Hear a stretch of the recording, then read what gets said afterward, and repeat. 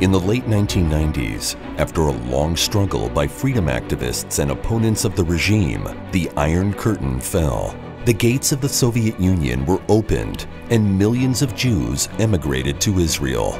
They brought a rich culture with them and combined it with the wonderful fabric formed by the ingathering of the exiles and deeply influenced all of Israeli society. Israel is a country of immigrants. It's home to a range of educational centers dedicated to various ethnic communities. But the community from the Soviet Union has no center of its own, and their story, which affects all of us, has not yet been told. Motivated by a deep sense of responsibility, we are working to establish a heritage and cultural center for the Soviet Jewry a center that will serve as a cultural home for members of the community and a bridge between the various parts of the population in Israel. An impressive architectural structure which will be built in the heart of Jerusalem will serve as a lively and active center for realizing this vision. The center will include an immersive historical museum, a show and concert hall, a wing for temporary exhibitions, the largest Russian library in the world outside of Russia, and a research institute. The museum is groundbreaking on multiple levels, featuring kinetic scenery, a unique individualized tracking system, video mapping, interactive exhibits, holograms, and three-dimensional projections. A visit to the museum starts at a typical town street in the Pale of Settlement. The impressive opening exhibit will explain about the Soviet Revolution and the resultant changes in Jewish life.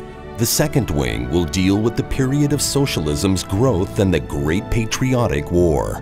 Here stories are told of those prominent Jews who shaped the social and cultural life of the Soviet Union and in many ways of the entire world.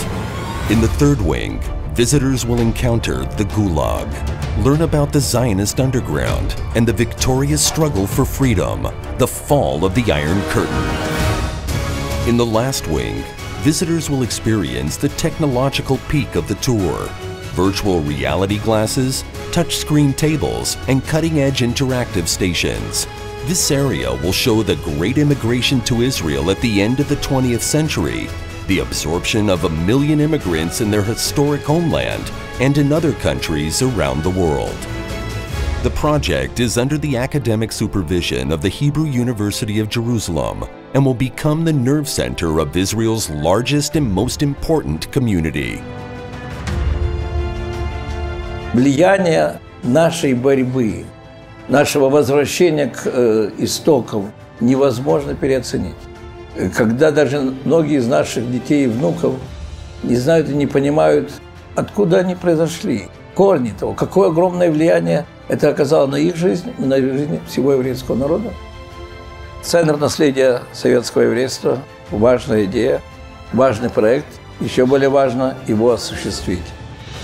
In order to realize this vision, prominent figures from the former Soviet Union immigrant community came together from a wide range of fields. We believe that the time has come to realize this important national, universal, and ultimately human project. We invite you to join us and take part in realizing our vision.